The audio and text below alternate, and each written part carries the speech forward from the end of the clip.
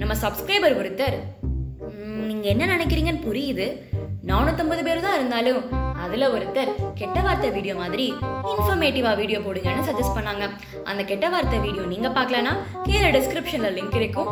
அதை கிளிக் பண்ணி பாருங்க. நம்ம சேனலை சப்ஸ்கிரைப் பண்ணாதவங்க அப்படியே சப்ஸ்கிரைப் பண்ணிடுங்க. வணக்கம். இது உங்க ஒரு டெமோக்ரஸி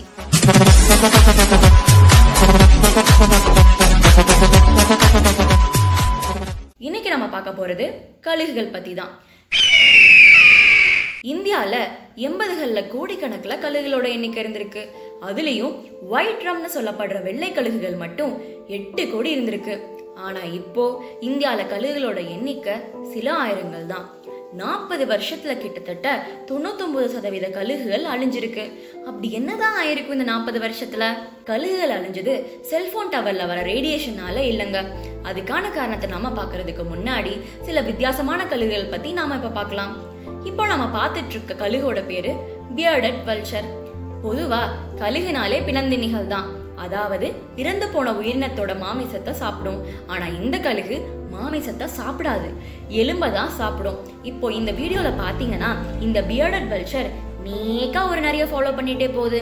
அந்த நரி சாப்பிட்டு போனதுக்கு அப்புறமா நம்ம ஆளு போய் கறி எல்லாத்தையும் தூக்கி போட்டுட்டு எலும்பை மட்டும் லபக்குன்னு முழுங்கிருச்சு. ஒருவேளை முழுங்க முடியாத அளவுக்கு பெரிய எலும்பா இருந்துச்சுன்னா நல்ல உயரத்துக்கு அந்த எலும்பை தூக்கிட்டு போய் ஒரு பாறையில கரெக்டா போட்டு அதை உடைச்சதுக்கு அப்புறம் சாப்பிடுங்க. இயல்பாவே கழுகு வயிற்றுல இருக்க ஆசிட் தான் சாப்பிடுற சாப்பாட்டுல இருக்க ஆந்த்ராக்ஸ் ராபிஸ் போன்ற கிருமியெல்லாம் அழிக்கிற அளவுக்கு ஸ்ட்ராங்கா இருக்குமாங்க. அதான் இந்த கழுகுகள் எலும்பையே ஜீரணிக்கிற அளவுக்கு ஸ்ட்ராங்கா இருக்காங்க. காண்டர் வகை கழுகுகள் ரொம்பவே அளவுல பெருசா இருக்கும். இப்போ நம்ம பார்த்துட்டு இருக்க இந்த கழுகு தான் காண்டர் பாருங்க இவ்வளோ பெரிய மீனை தூக்கிட்டு போகுதுன்னு. பொதுவாக கழுகுகள் மூணு நாளைக்கு ஒரு தடவை தாங்க சாப்பிடும். ஒரு வருஷத்துக்கு ரெண்டு இல்லைன்னா மூணு முட்டை தான் போடும். ஒரு கழுகு இனப்பெருக்கம் செய்ய அஞ்சு வருஷம் ஆகும்.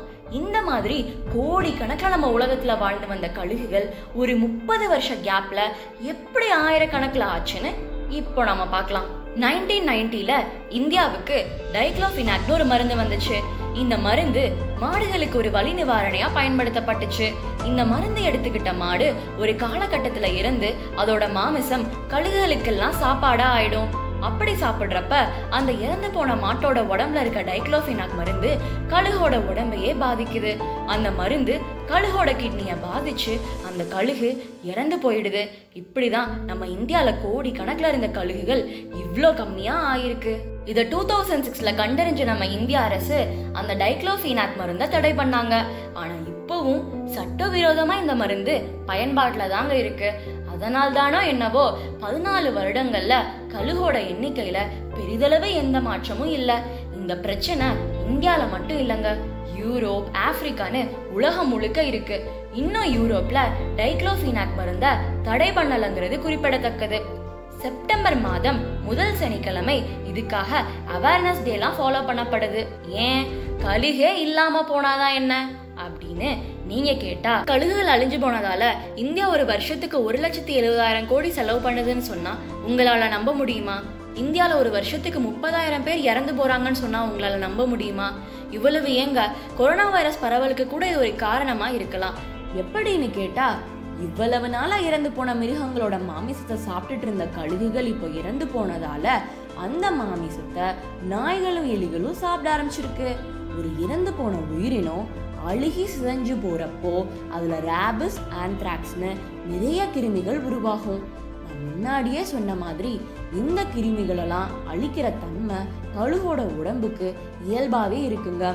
அது தன்னோட வயிற்றுல வச்சு மாமிசம் எலும்போட சேர்த்து அந்த கிருமியையும் அழிச்சிரும்.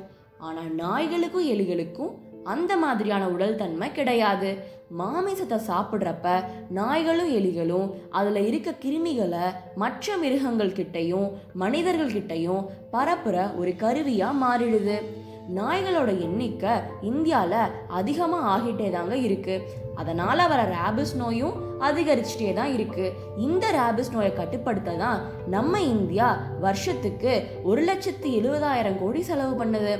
இந்த ரேபிஸால தான் வருஷத்துக்கு முப்பதாயிரம் பேர் இறந்தும் போகிறாங்க கொரோனாக்கு கூட இது ஒரு காரணமா இருக்கலான்னு இப்போ உங்களுக்கு புரிஞ்சிருக்கும்னு நினைக்கிறேன். பார்சி மதத்தை சார்ந்தவங்க யாராச்சும் இறந்து போனா புதைக்கவோ எரிக்கவோ மாட்டாங்களாம். ஒரு உயரமான இடத்துக்கு இறந்த உடலை கொண்டு போய் போட்டுட்டு வந்துடுவாங்க. அந்த உடல் அப்புறம் கழுகுகளுக்கு உணவாயிரும். அந்த கழுகுகளை இறந்தவர்களை சொர்க்கத்துக்கு கொண்டு போற தூதவரா அந்த மதத்தை சார்ந்த மக்கள் நம்புறாங்க. கழுகுகள் இந்த உலகத்துக்கு எவ்வளவு முக்கியம்னு தெரிஞ்சுதான் இந்த மாதிரியான வழக்கங்களை வச்சிருந்தாங்களோ என்னவோ. இந்த டைக்ளோஃபினாக் மாதிரியான மருந்துகளை தடை பண்ணி கன்சர்வேட்டிவ் சென்டர்ஸ்லாம் உருவாக்கி எந்த பிரயோஜனமும் இல்லைங்க. கழுகுகளோட எண்ணிக்கை இன்னமும் அப்படியே தான் இருக்கு. எந்த மாற்றமும் இல்லை. பதினாறு வருஷம் நம்ம பண்ண ஒரு அழிவை பதினாலு வருஷத்துல சரி பண்ணிடலாம் நாம நினைக்கிறது முட்டாள்தனம் தானே பேருக்கு மட்டும் தடை பண்ணி வச்சிருக்க அந்த மருந்துகளை ஒழுங்கா தடை பண்ணணும். எந்த மருந்து புதுசா சமூகத்துக்குள்ள வந்தாலும் வேறு உயிரினங்களுக்கு அந்த மருந்து விஷமா இருக்குமான்னு பரிசோதனை பண்ணி தான் மார்க்கெட்டுக்குள்ள கொண்டு வரணும். இந்த ஃபுட் செயின்ல கழுகுங்கிற ஒரு உயிரினம் இல்லாம போறதால இவ்வளவு பாதிப்பாகுதுன்னா இன்னும் எத்தனை உயிரினங்கள் அழிவை நோக்கி போயிட்டு இருக்கு? அதனால எவ்வளவு பாதிப்பு வரும்னு நீங்களே யோசிச்சு பாத்துக்கோங்க ஏன்னா இந்த உலகம் மனிதர்களுக்கானது மட்டுமல்ல மனிதனும் மற்ற உயிரினங்களும் இங்க தனித்தனியெல்லாம் வாழல. இயற்கையோட விதிபடி இங்க எல்லாம் சேர்ந்து தான் வாழ்ந்துட்டு இருக்கோம் சொல்ல போனா சேர்ந்து இருந்தாதான் வாழலாம். மனுஷனுக்குள்ளேயே சாதி மதனை கொலை பண்ற இந்த கூட்டத்துக்கிட்டே இதை போய் சொல்லிட்டு இருக்க அப்படி நீங்க கேட்டா நம்ம சொல்லிட்டே இருப்போங்க. ஒரு நாள் அவங்க கேட்டுதானே ஆகணும். எங்க போயிட போறாங்க?